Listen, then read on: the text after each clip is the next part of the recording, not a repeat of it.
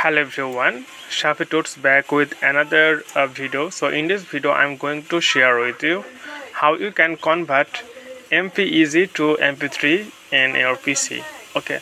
So that's why you have to go our website. It's called cloudconvert.com and then enter.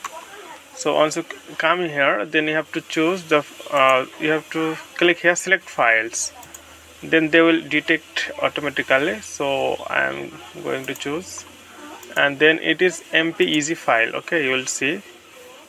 So then MPEG this you can see MPEG. But I want to convert it in mp3 so you have to uh, choose the file here mp3 and then click converter. So it takes a few moments uh, to convert and when it's processing so when it's ready then you will see it's, it's start download it so it's really easy. So okay friend today is no more and thank you for watching